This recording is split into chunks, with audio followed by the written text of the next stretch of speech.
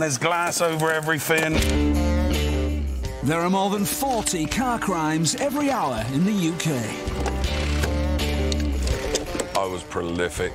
I just could not stop stealing cars. Organised gangs make millions exporting luxury stolen motors. As long as you keep calm and you don't shiver and you don't sweat, money's in the bank, really. Picking something up already. There's high-tech crime using the very latest gadgets. I'm a right smart bastard, me, you know. I can do this. I'll show you. Look, I'll show you. Look, it's, it's easy. And insurance scams risking lives to rake in the cash. I'm proud of myself, I can do that. I don't care about no one, bro. This is Grand Theft Auto UK.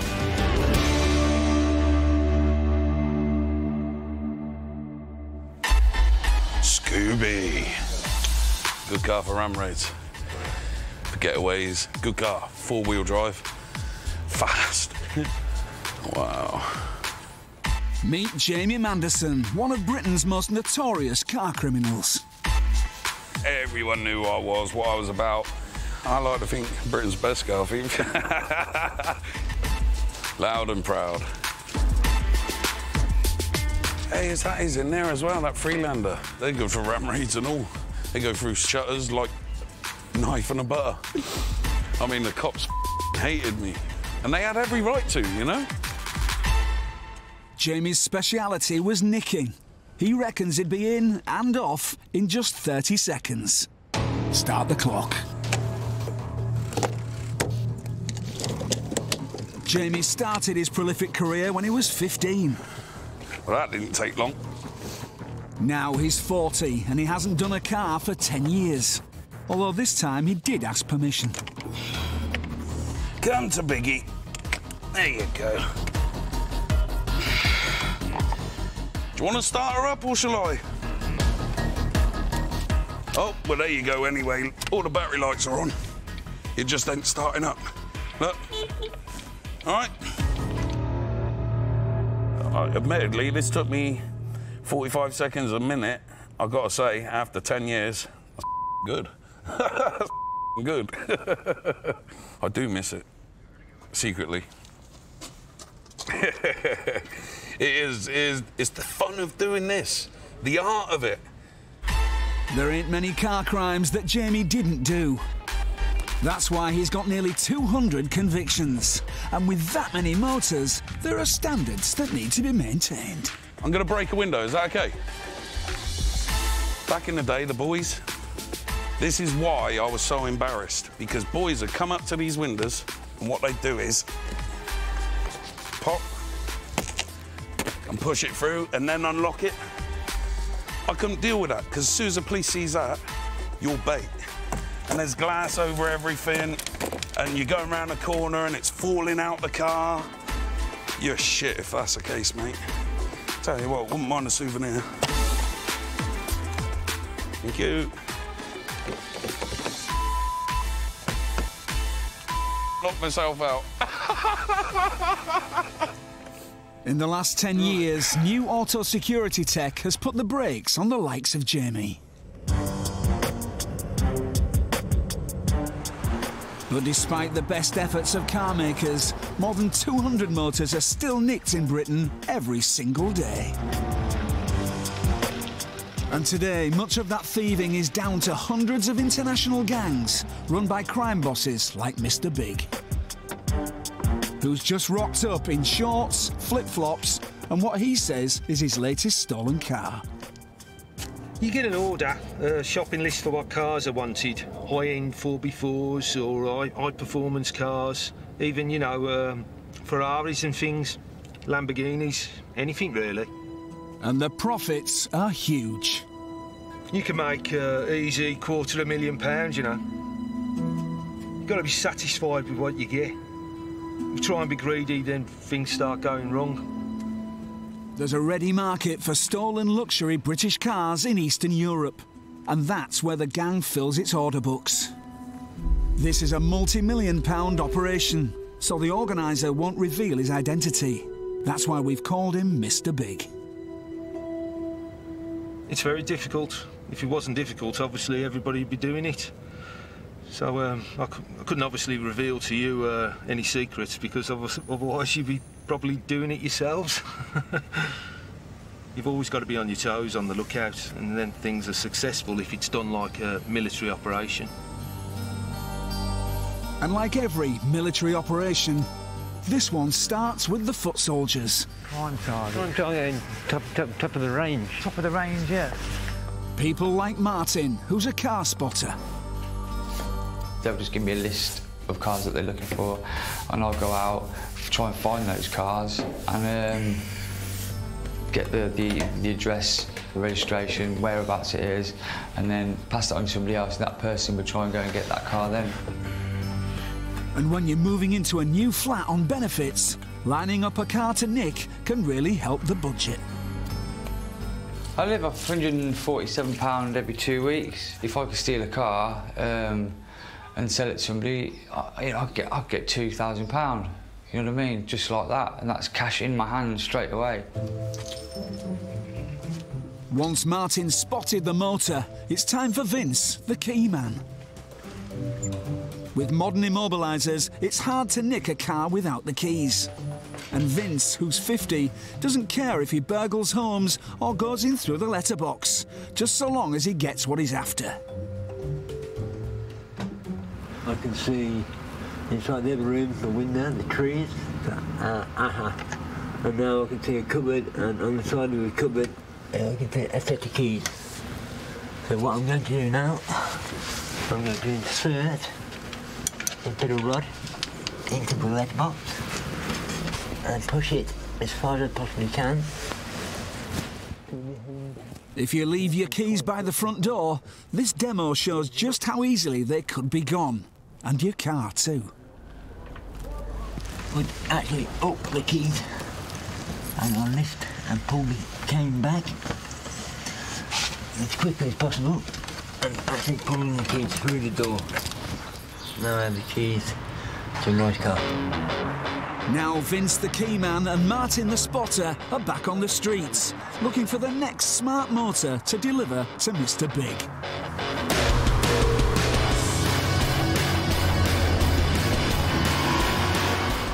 But there are more ways than just theft for Crims to profit from car crime. Cash for Crash costs insurers 400 million a year, and no driver is safe. I'm proud of myself, I can do that. I don't care about no one, bro.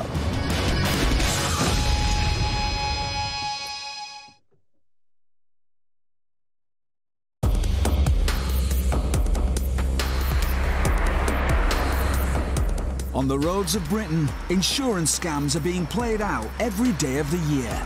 Like this smash, allegedly staged to fleece the insurers. One is called Cash for Crash, and Happy claims he's a master of a con that costs honest drivers 90 quid a year on their premiums. Look at this sport, it's fucking really nice, bro, to do the job.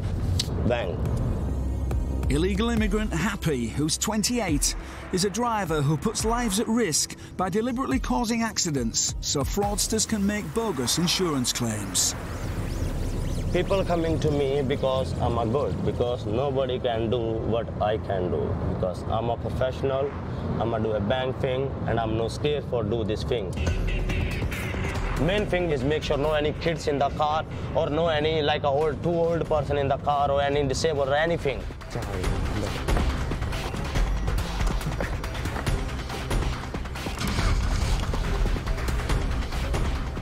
This is a low-speed demo of one of Happy's cash for crash techniques. He drives in front of the innocent car he's targeting and slams the brakes on, causing a smash. Then the fraudster who's paid him quickly swaps places with Happy, so it looks like the fraudster was driving. Fucking hell, man! Look at this car, man. Look at the his. What's the No, story, look, bro? man. Fucking hell, man! Look at the There's car, no man. You can't you fucking see that? Look. The The driver of the car behind, who's completely innocent and probably in shock, gets the blame. You got insurance detail here. Insurers reckon that exaggerated claims can be anything up to 30 grand per accident. The scammers want cash for the likes of fictitious damage, fake injury, and probably a few extra passengers who weren't even there. Cash for Crash rakes in 400 million in bogus claims every year. In this smash, there are two con cars. One does a last minute manoeuvre, giving the second an excuse to slam on the brakes.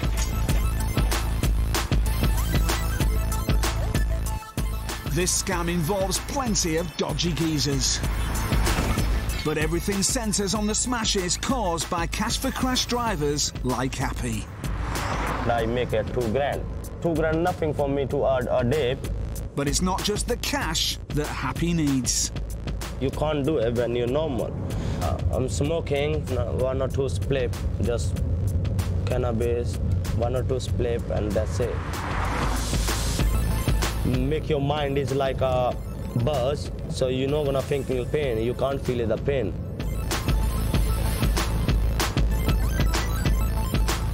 Happy has a wife and a kid, but is prepared to risk everything when he's at the wheel. My back gone, my neck gone, my legs gone, everything gone. The worst, the worst crash is when eight car hit us, and that's the worst, worst accident in my life. You don't know how, how fast the car coming is behind you. And if you're, you're bad luck, the guy is drunk or something, and he can't control the car, you don't even know you come back home or not. If you're not brave, you can't do it. It's no skill, it's about your heart is brave. That's why I'm doing it, and I'm proud of myself I can do that. I don't care about no one, bro. London boy, bravest guy.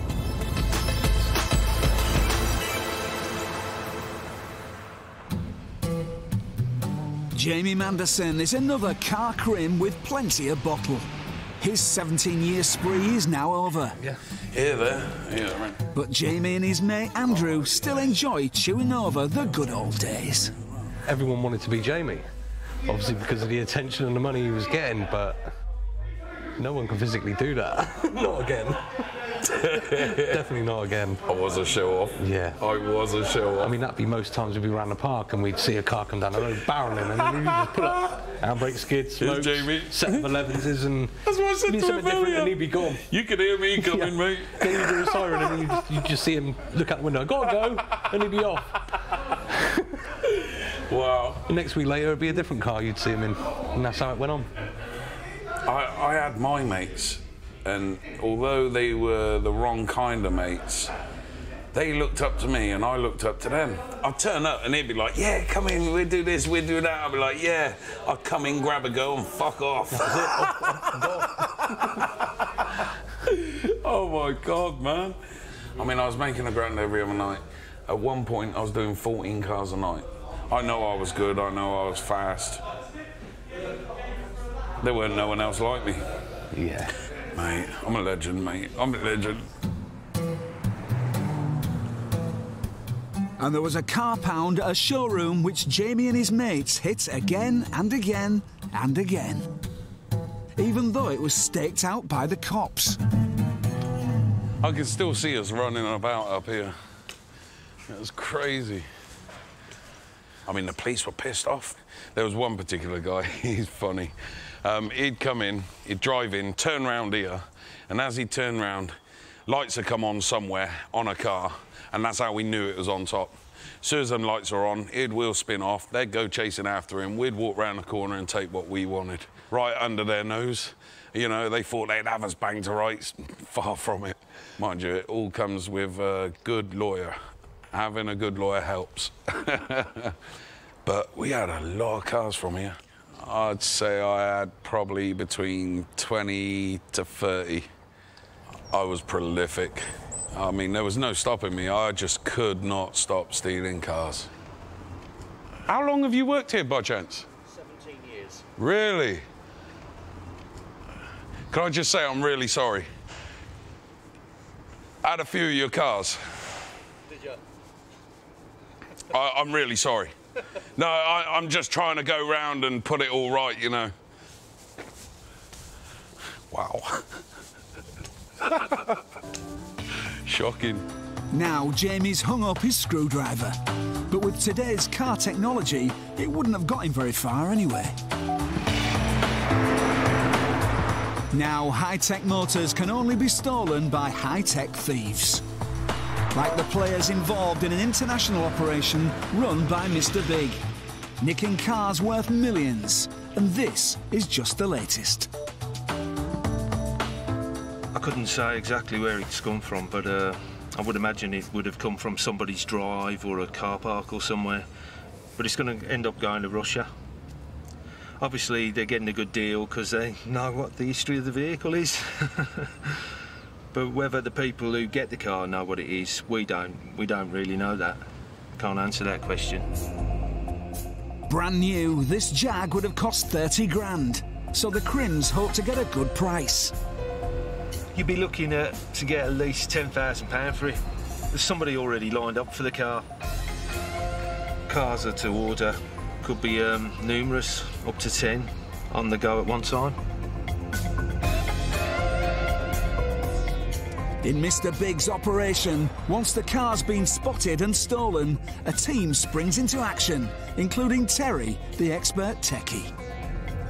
It's got to be done fast. It's it's like choreography in a dance. It's like choreography in a dance. Everybody's got to work right. If not, you'll all end up in a big lump. And job one is disabling the device the police use to find stolen cars. It's called a tracker, and all new luxury cars have at least one. If the vehicle's still in, there's no sign of any police. Normally, it would be unlocked. And I just come in, and you find a convenient um, 12 volt output, used to be called a cigarette lighter. Aha. And you get the jammer, you put the jammer in there, and it's just like a little charger for your, for your phone with the Larial on it. And you just plug it in there.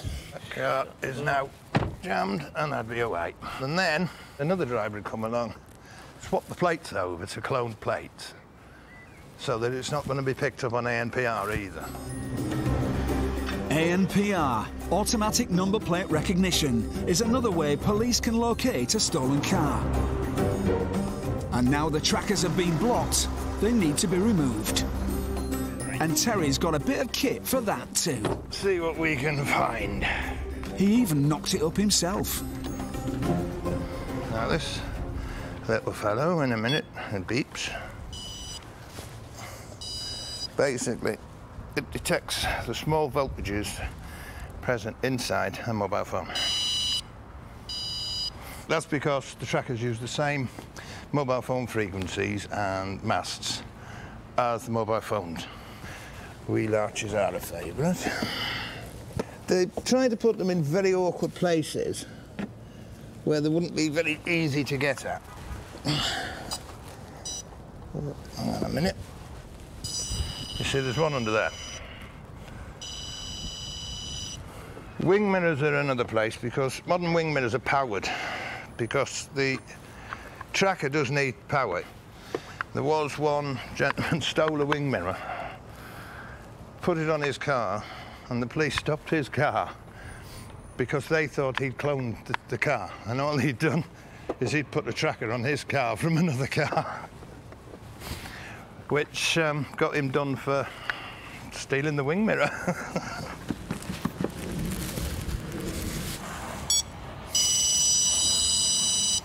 There's definitely one in there.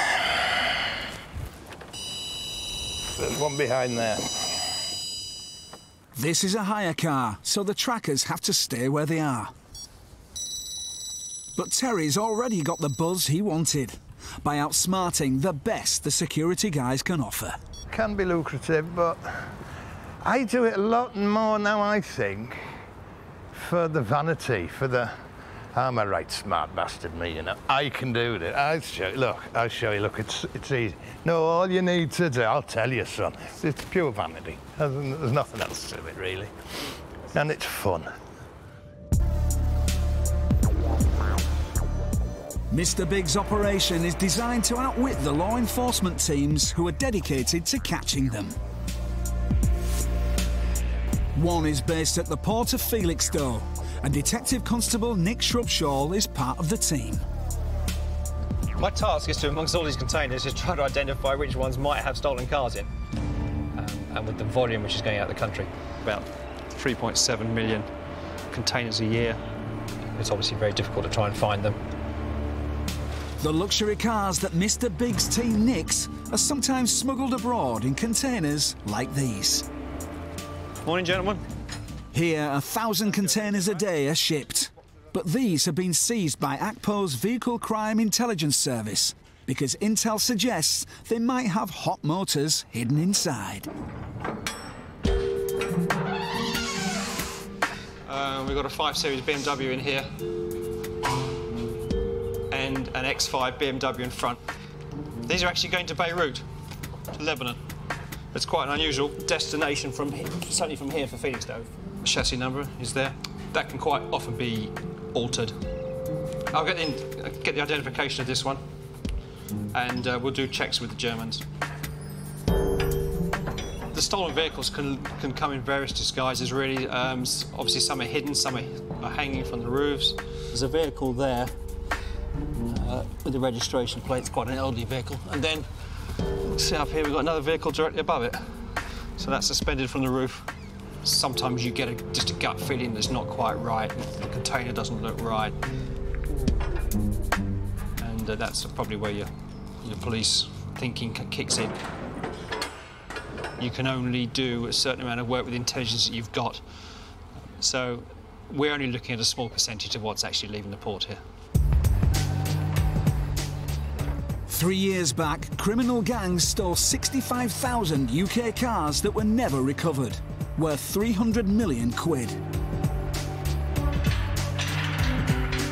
Here, they're trying to put a small dent in those numbers. These, these vehicles um, are all stolen, and the, the, the value is between 200 and 250,000 pounds. It is a big problem. It's a growing problem because it's linked to so much of the organised crime. We believe there's hundreds of gangs which are involved, and um, we obviously try to keep up with uh, the next um, method of, uh, of moving the stolen vehicles out of the country.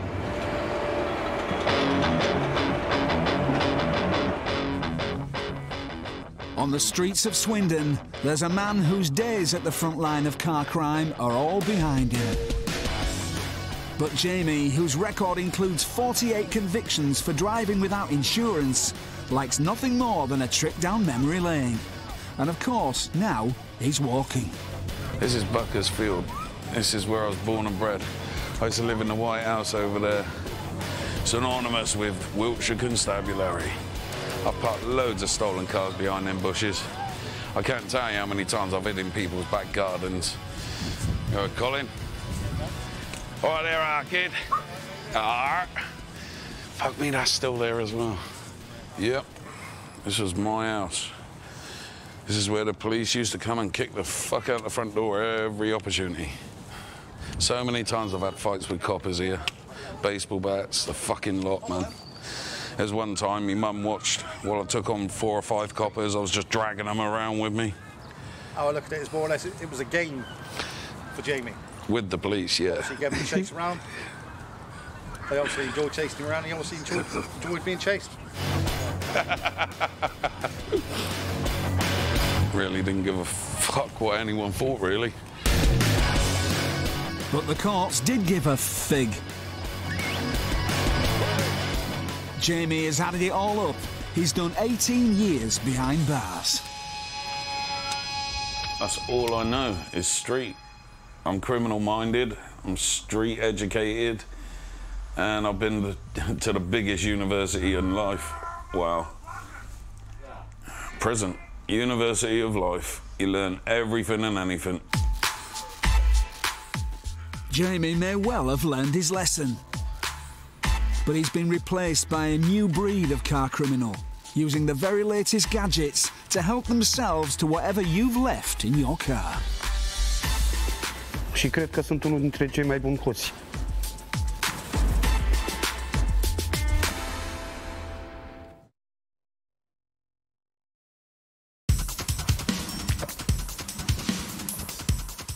On the roads of Britain, there's a new form of car crime that any driver can be a victim of.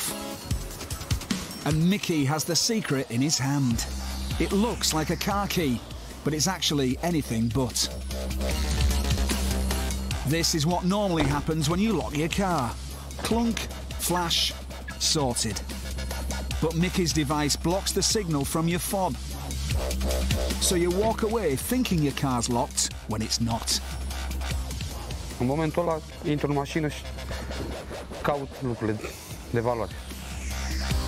Mickey's a 31 year old Romanian who's thieved right across Europe before bringing his dubious talents to Liverpool.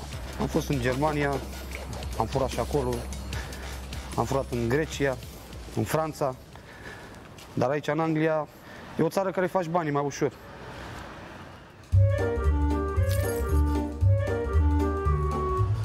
This car is a setup, so nothing was stolen.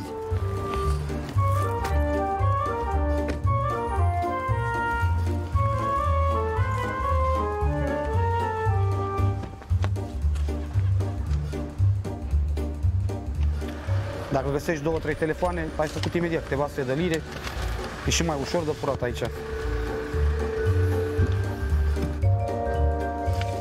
O zi pot să fac și 6, 700 de lire. Pot și dintr-o mașină să-mi iau 3000. And with all the money he's making, Mickey's building a villa back home in Romania. Fac lucrul ăsta de 4 ani de zile, că dacă nu eram bun sau nu mă pricepeam, până acum am luat poliția. Și cred că sunt unul dintre cei mai buni hoți.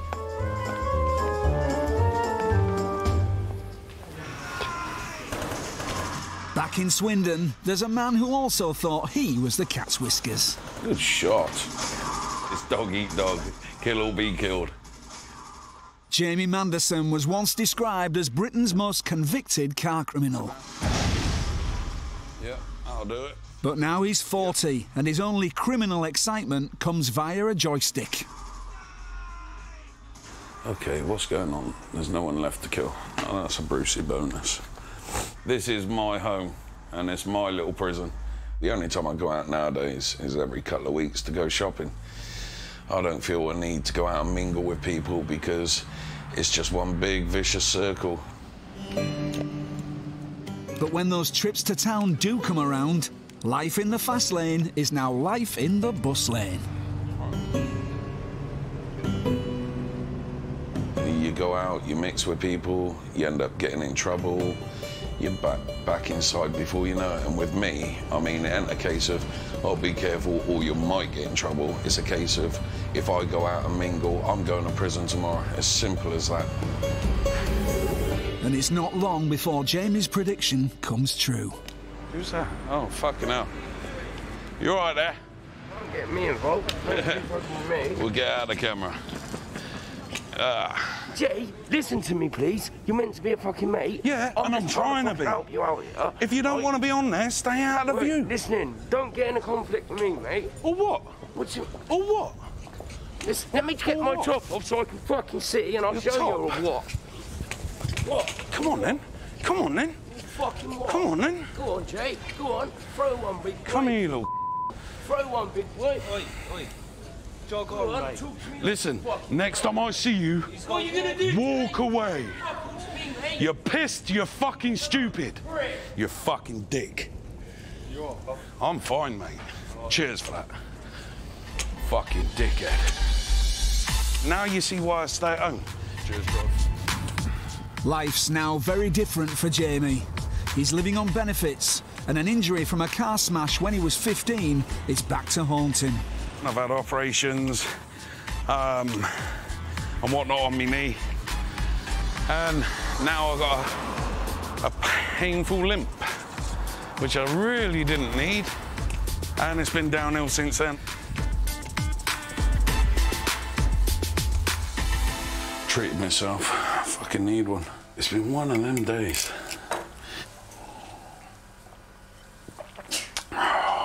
So nice. But while Jamie's life is in neutral, Mr. Big's operation is in cruise control. And the next link in the criminal chain is disguising the stolen high end car so it can be smuggled out of the country. And that's where the tech whiz kid comes in again. Having eliminated the trackers, Terry turns to more artistic skills. When you get a vehicle and you want to move it abroad, you need some kind of documentation. So you make a logbook. Now this was an actual logbook. Using various um, image manipulation programs, I've blanked this document basically to make a template that can be used again. You see, um, for instance, a registration number. It's gone. However, the back in, there are some security marks at the back. That's still there. See, this is the registered keeper. And as you can see, there is no registered keeper. That's blank. Now, it looks like this is like blue, and this none of these colours are what they are because they're made of very small dots. They're all different shades of blue. Say, like they couldn't just blank that with blue. You've got to be able to produce the little tiny dots. It's got to look right. Terry says he's forged at least 50 fake logbooks. And he reckons he's not the only one. Because in Eastern Europe, where the stolen cars go, forgeries are commonplace. I think in the places where these go, um, I probably think if you pre presented a genuine one, they'd look at it a bit suspicious because I bet they see more of these than they see genuine ones. Back at the port of Felixstowe, cloned cars with forged documents are nothing new to one of the crime-fighting teams trying to stop stolen vehicles being smuggled out of the UK. They've currently seized three cloned vehicles, and two of them are identical twins. Um, these are all Dutch, stolen Dutch ones. These have been cloned. In other words, the identity of a similar vehicle has been placed upon it. So it becomes like a, a forged passport, really. If you look at that, the chassis number is the same in each car. They had the same registration plates. They had the same modifications and alterations done to them. Um, so we knew that neither was right. They'll go to any lengths to steal the vehicles, and they'll go to any lengths to hide the actual identification as well. Um, these are these are skilled gangs. The volume of vehicles involved far exceeds what we're obviously catch uh, and recover. So they won't be too um, concerned that they've lost one or two vehicles. And Mr. Big certainly isn't losing any sleep. nah, I've never lost a car. Car's never been lost. It's a bit big to lose. the police are very good at investigating. If there's a mistake made or something happens, it's extremely risky. Well, the risks are, could at any time you could get caught, then it's a hell of a jail sentence, but uh, the end of it, we're fortunate enough that they've never managed to catch us. Just know that you've got to stick to the certain way, and provide you stick to it, then it's pretty foolproof, really. While the gangs and the crime fighters battle it out, there's a different challenge for one of Britain's most notorious car criminals. Jamie is about to get behind the wheel for the first time in eight years. It's been a while. It's been a good while. I probably will be nervous seeing a cop car, whether it's coming for me or not. Jamie may have stolen hundreds of cars and illegally driven thousands of miles, but he's never had a license. So as he's now going straight, we gave him a lesson to see if he can drive in a way that does obey the highway code. Hello, Jamie. Afternoon. Nice to meet you. Nice to meet you. My name's Julie. I'm going to be your instructor for today. I used to be Britain's most banned driver. Did you really? Yes. Oh, right. Um, okay. Good luck. So how... if you like like to get in, um... Got the keys for a minute, so... Yeah, that's fine, that's fine. Yeah? Normally I wouldn't need keys.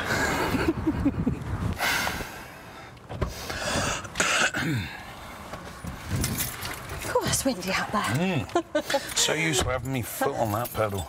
Right, okay, Jamie. What we'll do is let's see how you drive first of all. Let's not try and fix something that's not broken, okay? Okay. Did you check your mirrors then? I didn't. I so didn't. It's 10 mile an hour. Sorry, I'm- Yeah, it's okay. That's fine. That's absolutely fine. Let's drive up there. If you go steady through the rough bit, make it quite steady. Not in the on off-road Am I vehicle. going too fast? I'll tell you in a minute. Okay. Oh, somebody's got their clutch down there, haven't they? We'll do a few more and then we'll go the other way. Right. Okay. Lovely steering, that's much better. Right, okay. Just pull up on the left here a minute, by this cone a minute. Right, okay. Right, there is a few things we need to work on, definitely, for a start, okay? Yeah. How many pedals have we got? Three, How many have you been using? two. So, you know, you said you said, oh, are we going a bit fast?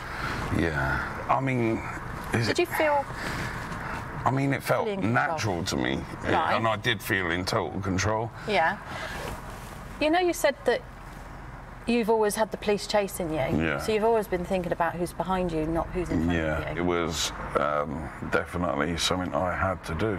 Do you do you see how much risk you put everybody at? Obviously, as well as yourself. Oh yeah. Don't steal cars, man. Ain't worth it. all Again, the best thank then. you. Yeah. Thank all you the very best. much. All right then. Thank you. Bye.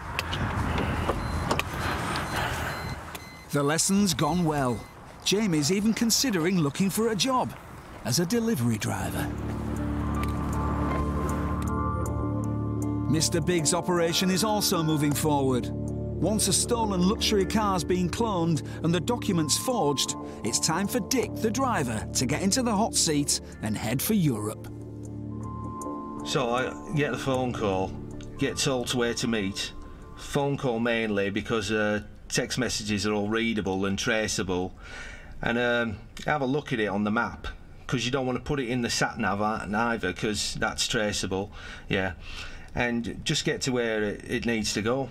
Get it to nearest port. It's just a case of, you know, keep your chin up, keep looking straight, and um, you have to stick to the story. You have to believe in what you're saying and believe in what you're doing. As long as you keep calm and you don't shiver and you don't sweat, money's in the bank, really. You know, you, you won't get away with it forever, but I'll get away with it for as long as I can.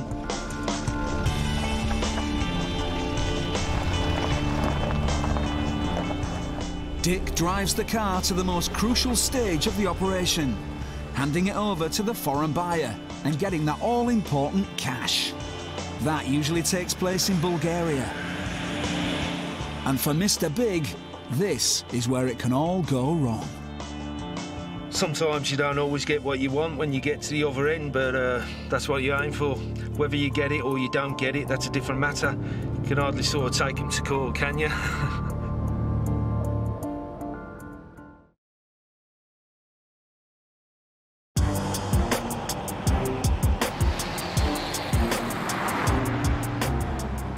This is the Black Sea coast of Bulgaria. One of the main destinations for the British motors stolen by Mr. Big's international car crime operation. This is home to many of the buyers prepared to pay good money for hot UK cars. If there's a market, you tend to fill it. Altogether, we've brought about 100 vehicles to Bulgaria. Cars end up all over Eastern Europe, but I believe vast majority go to go to Romania. I have somebody who orders, takes the vehicles. After that, not really concerned.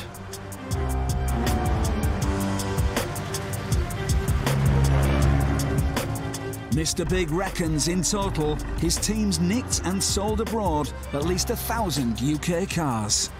For most of the cars, uh, we get about half the actual price you'd pay in the um, UK. Today, none of the buyers of top of the range motors wanted to show their faces. But Mr. Big's operation also pinches cheaper models like this one. They sell like hotcakes too. And many buyers are on their way to Britain with crime on their minds.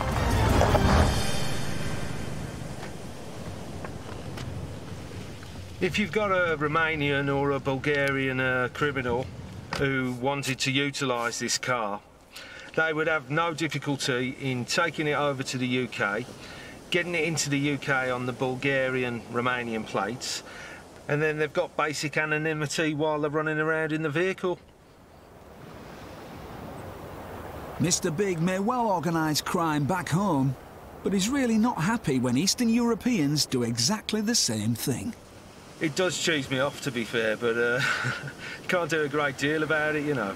When you're offering somebody something that's not particularly that legitimate, you can't, you can't be too choosy, really. I do feel a bit aggrieved that they're probably going back to use them for a crime and dishonest things, but it isn't my concern. If they do things bad, they should get caught.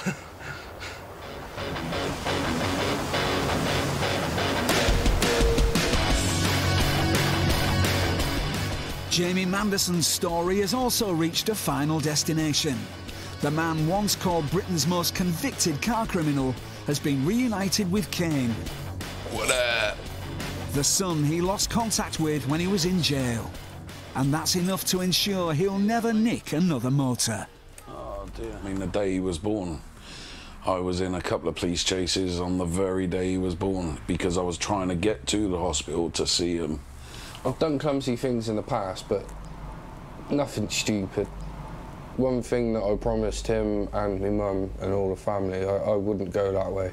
He hasn't got the frame of mind that I had. Yeah. I, I've had balls of steel. and I'm not saying he hasn't got balls of steel, but I'm I'm saying that there's no way I could see him in the situations that I've been in and pull it off. It's something you just put at the back of your head and think, wow, he's done this. He's been stupid, but, you know, I've pulled him round and it's... he's been fine ever since. That's all you ever need, support, and it gets you through a lot. I've said to him so many times, I feel so ashamed and so embarrassed. And he's always said, why? I'm proud of you, you know, and he loves me. And that's what kicks the shit out of me. That's why I'm not going back to prison. I couldn't afford to lose him. I couldn't. I mean, he's never put me in a position where he said, look, if you do it again, that's it. You know, it's not like that. Honestly, looking back, some of the things you do, no one's ever going to do in their life. it was fun. It was fun. But while Jamie's crimes are at an end, the lawmen at Felixstowe are still battling to stop stolen UK motors being taken abroad. And it goes far beyond Mr. Big's operation, with major organised crime rackets now using cars as currency. Yeah, the vehicle will be used as, as, uh, as the commodity in so many areas, and it, it, it is money. It's money on the move. I think people don't realise that the vehicle is the cash. It's like having a, a wad of cash in your hand. It's used for everything. It's stolen for all sorts of means, and it's an easy method of payment. We believe there's hundreds of gangs which are involved. Yeah, they certainly know that we're looking at them, but we have to, in many ways, play catch up with them. So quite often ahead of the game.